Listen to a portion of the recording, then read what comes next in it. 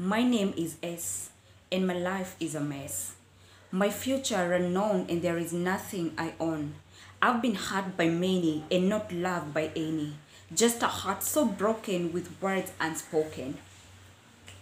The night is approaching and wish I was poaching.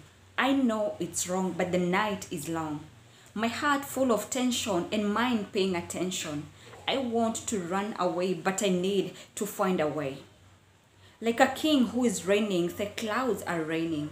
I watch without blinking, I can't even feel a tickling or any distraction, not because of concentration, but my mind is racing and my sugars are rising. The night is here, and that's a thing I don't want to hear. Because the night comes with darkness, darkness with loneliness, loneliness with emptiness, and emptiness with bitterness. I am bitter and wish I was Peter, who used to call me baby, yet all he did was leave me with a baby.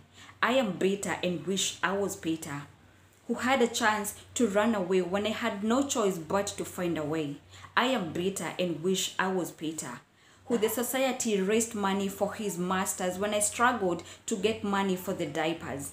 I am bitter and wish I was Peter, who is now loved and respected because he is educated when I'm hated and forgiven because I did the forbidden.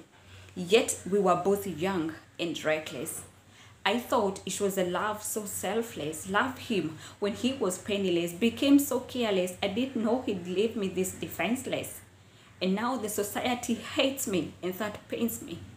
It pains me that the society blames me, blames me and cannot accept me.